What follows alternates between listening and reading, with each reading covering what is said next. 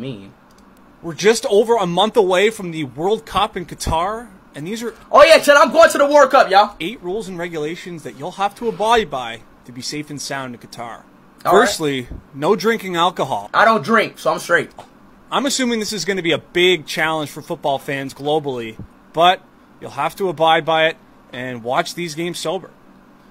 Rule number two no homosexuality.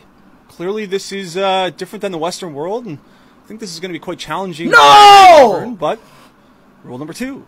Rule number three, we've got it looks like a woman with high heels on, no immodesty. What? So I'm assuming that women need to be covered up, and again, very different than the Western. Rule number four: no profanity.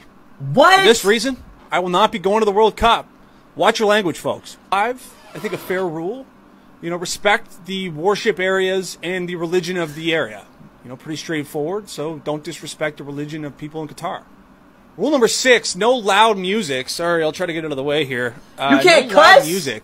Uh, this is going to be an issue to trying to get hyped up pregame for the teams, and uh, even well, I guess there's going to be no pre-drinks, so no loud music. Thinking about downloading Tinder or Hinge while you're there?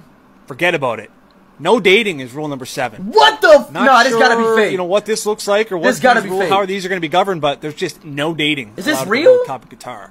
And finally, for all you gym influencers, no taking pictures while at the gym is rule number eight. Yo, bro, this has, this gotta be fake, bro. There's no way. You can't cuss at a football match.